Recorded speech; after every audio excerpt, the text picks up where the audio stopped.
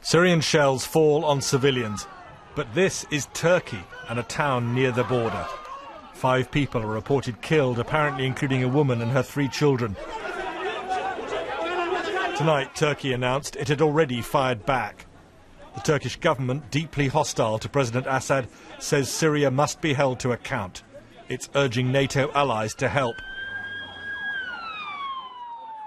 It's a very, very dangerous situation, and all responsible nations need to band together to uh, persuade the Assad regime uh, to uh, have a ceasefire.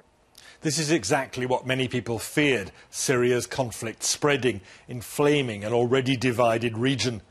Turkey backs the rebels, lightly armed, but without clear political leadership.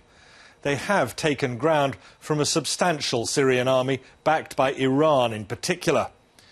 President Assad no longer controls his country, but equally he hasn't lost it either. And the longer the Syrian deadlock, the greater the risk that its neighbours and the region will get sucked into confrontation. You are going to see this pro proxy conflict boiling over for that protracted period of time. You need for there to be some kind of international momentum to form a consensus that actually can shift the ground away from conflict. But no end to conflict is in sight. Syrian state TV said this was the result of rebel bombings in Aleppo today.